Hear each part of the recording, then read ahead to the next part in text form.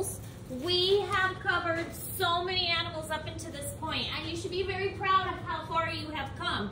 From not knowing what any of these were all the way down to Mammalia, which is our last and most advanced group, which we are a part of. So we have come quite far in the list of animals, and um, it'll be kind of fun for us to do this unit. Now, I know before you ask, I will bring the ferrets in. I haven't decided when yet. Um, I'm trying to think of how I'm going to contain them to. Well, I'm thinking I might put the, like put a gate up, yeah, a fence back there, and then they could have that spot. Um, so that'd probably be our best bet. I will bring Oki. I I wake him up and I snuggle him every morning, and they always come to greet me. And Akuma, the little baby who was very bitey at first, she's just turned sweet, and she's a sweetheart now. But Oki still bit me this morning. Stupid ferret. I'm gonna make you love me. but the other two are really sweet. Um, so we are, um, there's 26 different orders in this group, and we're not going to cover all of the orders. In fact, part of our final will have to do with mammals, okay? So for our final, we will each pick a different order, and we're going to do presentation over that particular order that we pick.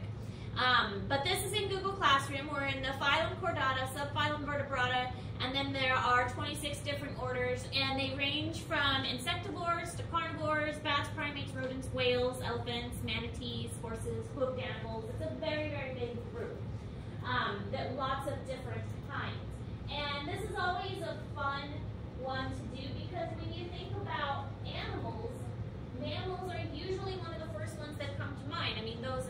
1,000 birds are the three main ones. and so it's nice that we're finally getting to these. And I will tell you, you guys are the first group to ever make it this far that we have enough time to really go in depth with this.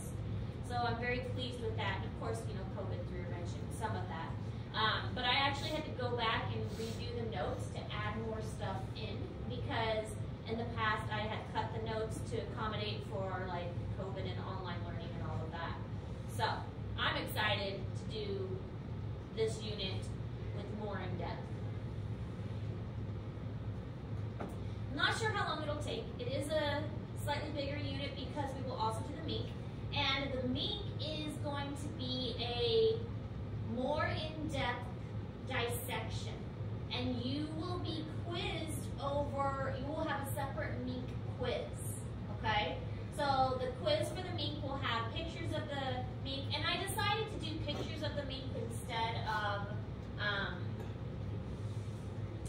actually having a mink out. My anatomy students will have a cat out for their quiz, but for you guys, we're just gonna do pictures of a dissected mink instead.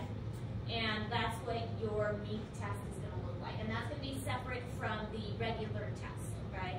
Um, then it'll have pictures of a dead mink and it's going to go into a lot of detail because you guys have been doing dissections all year. And so you should know what the parts look like by now. And yes, we've been doing a couple things and, you know, on our tests, but this is going to be a lot more detailed. So just kind of be prepared for that. All right, so diversity. Mammals range in size from the tiny shrew that weighs about 1.5 grams to the gigantic blue whale that can weigh up to 150 tons. So there is a lot of diversity. The blue whale is the largest animal ever in the world, even bigger than the dinosaurs. The blue whale wins. The blue whale's vessels in its heart are huge. In fact, when I worked at the zoo, we kind of looked at the possibility of getting, um, they actually make parts of the blue whale, like the actual size, and you can have it as kind of like a jungle gym for kids to play. Um, so we looked at getting one of those replicas, and you can also get like tunnels that are the actual size of a blue whale's vessels, and that way kids can crawl through them and you can get an idea of how big it is. So we're talking huge here. So big that you guys could fit through the vessels of the whale.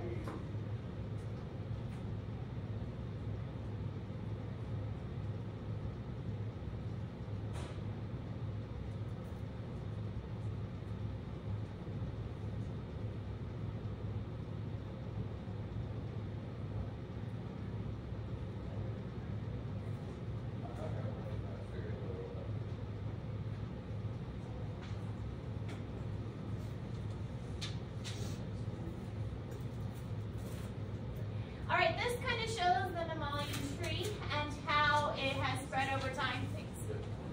Um, and how it divides. And you can see some of the more advanced animals. Remember, the more primitive stuff is toward the trunk of the tree and the more advanced is out toward the branches. So some of the ones that are out toward the branches, the elephant, um, the dog, the primates, of course, those are more advanced animals. Now, all of this is important, so you need to write all of this down. Characteristics of mammals.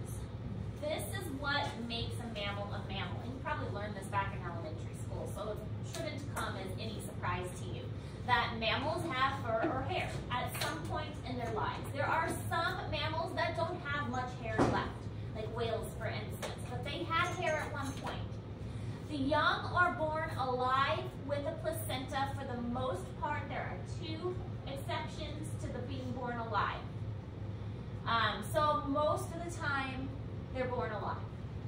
The placenta is, we'll talk a little bit more about this later on, but it's a big organ that is found inside many mammals that connects with the mother, and the mother passes nutrients to the young through the placenta.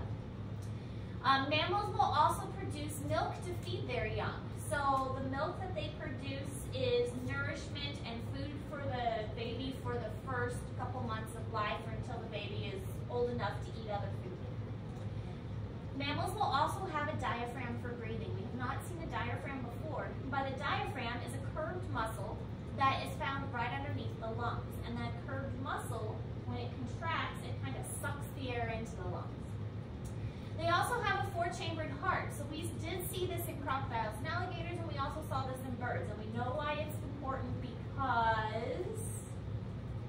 Why do we have a four-chambered heart?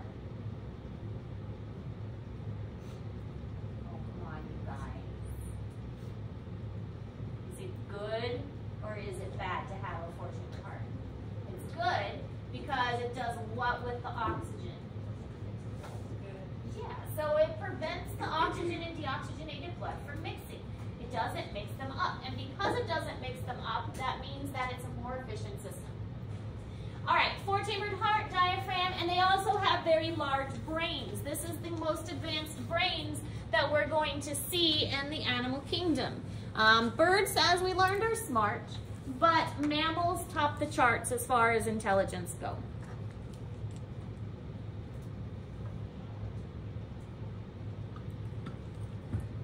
Okay, so the mammary glands, they produce milk to feed the young, and again, all mammals have these, even the really weird one like the duck-billed platypus. And we'll talk about that a little bit more later on, um, but the duck-billed platypus kind of does it in a different way, but it still produces milk.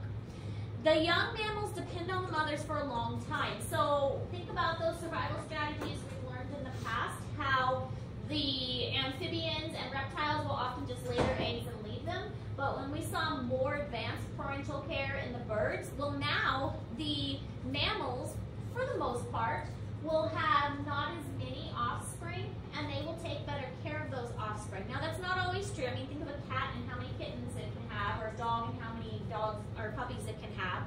So sometimes animals will have litters.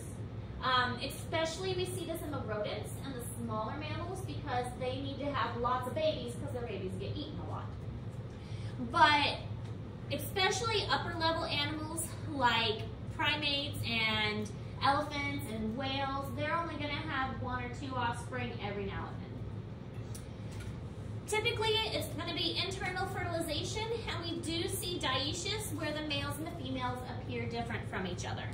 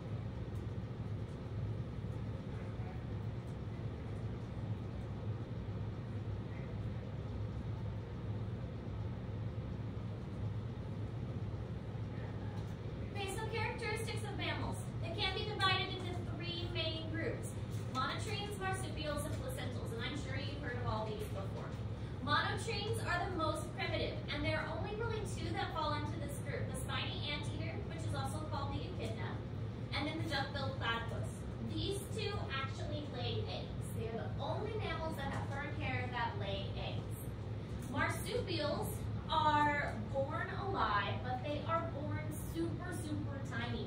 And then they develop into the mother's pouch. So they will crawl into the mother's pouch and basically latch on there and receive nourishment until they are big enough to develop on their own. And we're going to talk about each one of these groups in more detail, so right now we're just kind of hitting the basics. Um, placentals, this is most of the mammal and so most of the animals are placental mammals, cats, dogs, humans, skunks, lions, deer, most of the animals out there that have fur are going to be placental.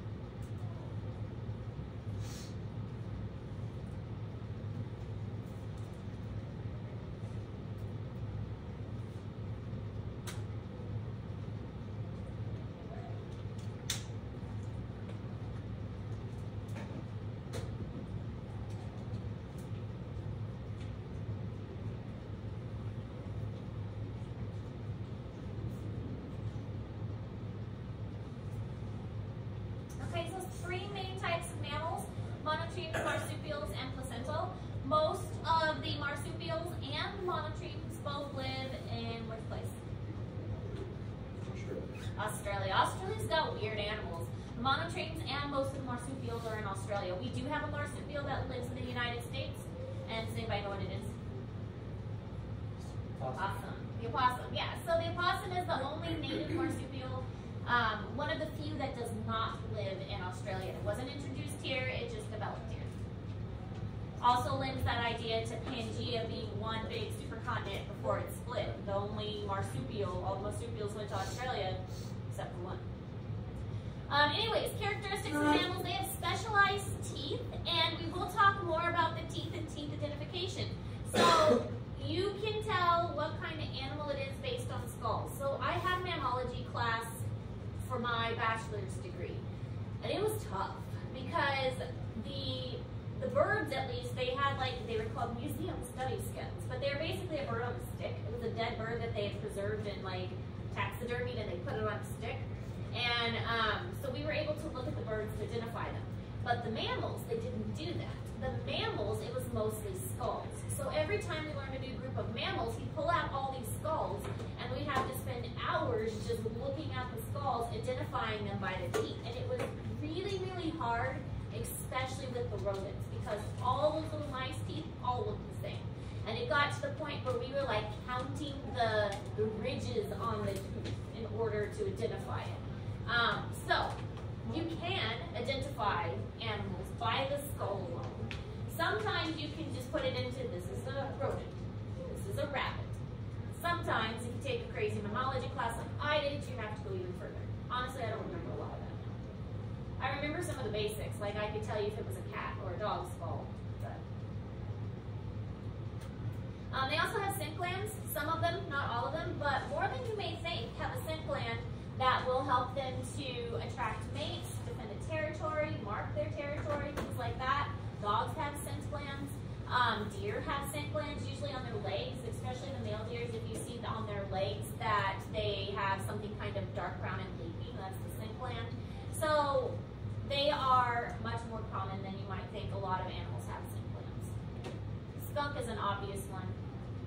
Not so much for mating, more for defense the, the parents, when I bring them in, they have a distinct smell. It's, I don't think it's that bad, and I'm kind of used to it, but it is a distinct smell. They're, the ferrets are in the same group as skunks.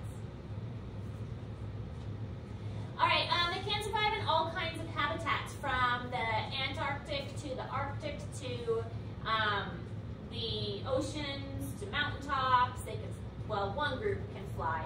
So there is a wide range of habitats that mammals can live in. They have infiltrated most places.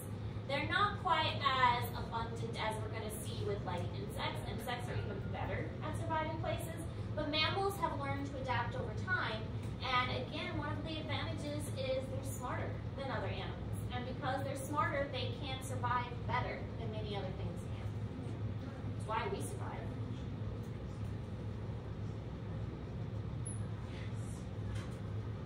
We don't have a whole lot going for us aside from our brain.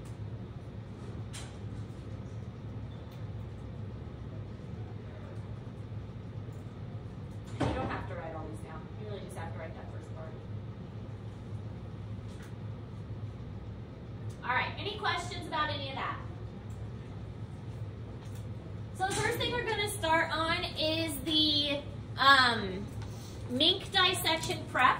And it is a longer dissection prep because as I said, it's going to be, um, it's going to be a more involved dissection. It's going to be a lot more detailed. The mink is our biggest animal. We have done so many dissections up until this point. It's not going to be simple. It may even take us two days to do the dissection. So, we have it ready to go. I haven't posted it yet. Um, so take your time with the mink dissection prep. It is worth more points because it is longer. It is pretty long because they are such advanced animals, they're going to have a lot of parts. So it's going to take us a while to get through that dissection prep. We're going to start on it today, but it's not going to be due, I don't think next week, I think the week after because it's there's so much information there. So any questions? Okay, it should be posted now. So if you have any questions, let me know.